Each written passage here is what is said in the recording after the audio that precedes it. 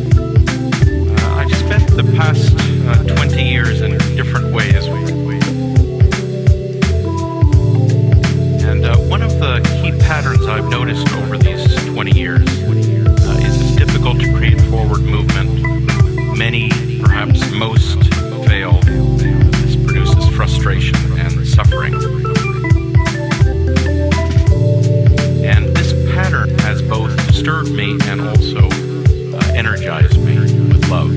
And I thought this was very silly, but uh, my wife was also a bit embarrassed to find a relationship.